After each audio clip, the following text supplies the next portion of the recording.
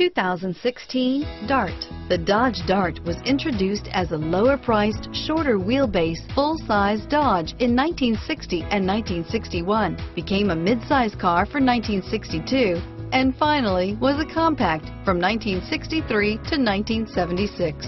Chrysler had previously applied the Dart name to a Ghia-built show car in 1956. Here are some of this vehicle's great options stability control, anti-lock braking system, traction control, air conditioning, front, power steering, anti-theft security system, cruise control, floor mats, side airbag, power brakes, trip odometer, airbag deactivation, power door locks, clock, side airbag, trip computer, power windows, child safety locks, center console. If you like it online, you'll love it in your driveway. Take it for a spin today.